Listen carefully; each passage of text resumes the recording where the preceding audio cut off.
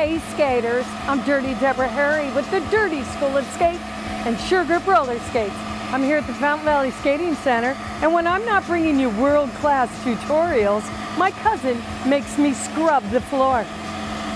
Today, our topic, the topic du jour, is going to be answering the age-old question, am I too old to roller skate? I get this question asked of me online, in messages, in comments, in person. Almost always, ironically, the person who's asking me if they are too rollers too old to roller skate, and I ask them, "Hey, how old are you?" and it turns out they're like 27, and I laugh in 55. You know, I just laugh because rarely is it a person who is actually old who's asking that. So let's just put aside the actual number of years that you've been on the planet as a barometer as to whether or not you should skate, okay? Let's just kind of forget that right off the bat. Because here's the deal there is an emotional, mental, and physical component that goes into skating. Your decision to start skating, your willingness to continue skating, your ability to skate, etc. So let's just go through those three aspects of it and see if any of this helps you. I have literally taught thousands of skaters how to skate. And I am telling you, this is the number one question I get asked. So, physically, do you feel weak? Do you feel out of shape? Are you not once the athlete you were? This comes up quite often. So when we think about skating when we think about the physicality of it, we often think, oh my God, but I used to be such a great athlete. Or conversely, I was never taught how to be athletic, I never learned. Or I have injuries. Or um, I am out of shape and I'm overweight. You guys, listen, don't let that be a barrier to you to start skating because if you keep your expectations in line with your current abilities, you will do just fine. When I say keep your expectations in line with your current abilities, tip, don't look at people just killing it on social media and think, oh, that's the standard. That's the level of where I need to be skating. It is not.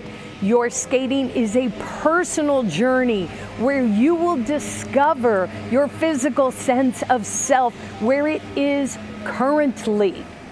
Please understand that as you start skating and you start acknowledging your body, you start becoming better acquainted with your body, you start discovering new ways to move your body, it will all be healthy and it will energize you in ways that you cannot even imagine if you can manage the mental aspects.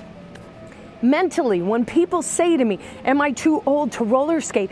Oftentimes, it's more of an aspect of they have not tried anything new in a long time. Is that where you're at? You just haven't tried anything new. You haven't challenged yourself in a new way. All you need to do realistically for the mental aspect of skating is to understand technique and let technique guide you. I say in my videos that I am here to teach you technique to help you with flow, and then style is the choice that you make. Okay? Oftentimes, particularly in our society, as we are presented with images on social media, what is highlighted most is style.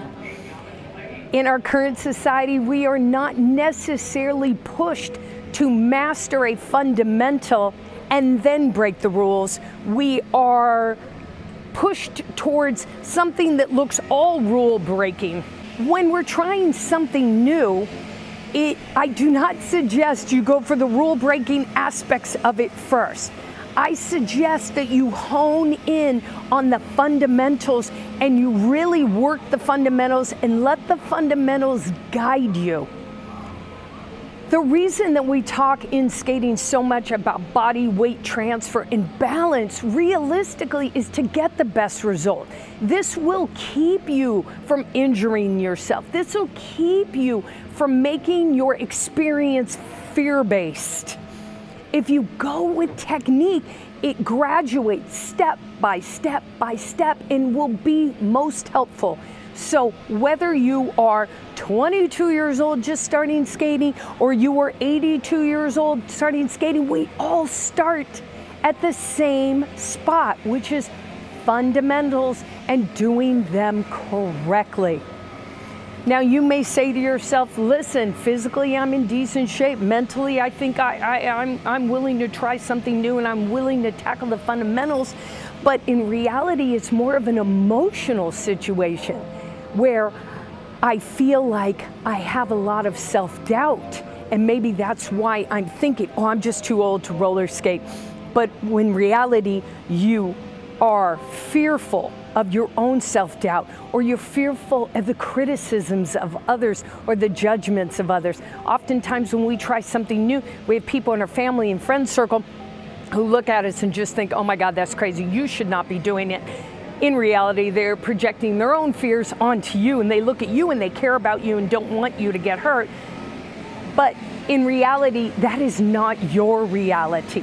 So when you think, am I too old to roller skate? Is it just your reaction to self doubt, fear of failure, fear of criticism, failure, uh, fear of being out socially and having to put yourself out there? Is it that? Is it really that? Because I guarantee you it's probably that. And it's really not just your age. So when we say to ourselves, Am I too old too? Really stop thinking about the age and stop thinking about that number is when I should stop growing, when I should stop changing, when I should stop developing, when I should stop playing. These are the things that keep us youthful. These are the things that keep us alive. And I truly believe that skating can benefit everyone at every age. Now, listen, when we are younger physically, we are capable of doing things that we cannot do as our body ages. Your brain, when you are younger, is a lot more flexible and it's more erratic and it's more crazy, and your body movements reflect that. But as you age, you should absolutely be moving your body in different ways, something that is more natural and more organic with how your brain is operating. So let me tell you from personal experience what it has been like for me. I am 55 years old. I do not skate the same as I did when I was a child. I do not skate the same as I did when I was 12 years old. Heck, I don't even skate the same way I did five years ago. Does it make my skating experience less? Does it make my skating experience less important to me as an individual? Does it make it less important to my life? No, it's just that I move more in concert with how my entire body is moving. When I go to a skate park now, I am not trying to get air out of the bowl. Okay, I'm not. You know what I'm trying to do? I'm trying to cruise. I am trying to be graceful, have it look beautiful, have the ebb and flow and the up and down and the weight dropping and the balance feel like one big run through the whole thing. I am not trying to slide on the coping. Many people are. And I want you to, and I cheer you on. But at this stage, for me, that is not something that my body really wants to do. There are parts of my brain that are like, that isn't a good idea. You should probably not. And as you know, when we get older, we actually do. If we listen, we're like, okay, that might be a step too far. But it doesn't mean that I don't enjoy the movement, that I don't enjoy the process. You guys, I used to used to be a uh, figure skater. We're talking jumps and spins and the whole deal, right? And I absolutely loved it. Now I can still do single jumps, which means one revolution in the air. And when I do it, I'm telling you, I love it when I do it and it's super fun. But every time I land one of those jumps, I'm like, thank God, thank God. Because it's not something that my body really naturally wants to do. I really have to give it something. So if you're at a point where you're saying, Am I too old to do something? A lot of times we just need to modify what it is we're doing and get the mind, the body, the soul, and your emotions all together. And when it's working together, it looks great. Listen, last week I was skating with this gal. I'm going to tag her in her. Her name is Retro. And her and I used to skate roller derby back in the day. Super fun. And her and I were talking about this very topic, and she was doing, um, she was doing like crazy legs, and literally, this girl is the best at crazy legs. Why? Because this is a movement she's been doing forever. Okay? But what I see when she does crazy legs is the smoothness and the beauty in her movement. To see a woman who's my age just killing it, being super smooth and loving what she does, okay? If you are in your teens, 20s, you definitely are not too old to roller skate, and you're definitely not too old to, to play roller derby, to go to the skate park, to do all the crazy stuff. Still in your 30s. When I skated roller derby, I have women who were in their 50s just trying out. Your 40s, your 50s, you're fine. Everyone can go to the rink. Everyone can learn how to figure skate.